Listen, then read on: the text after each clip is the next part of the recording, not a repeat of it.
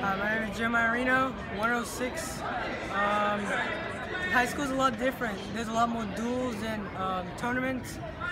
Uh, This is a MoPro video.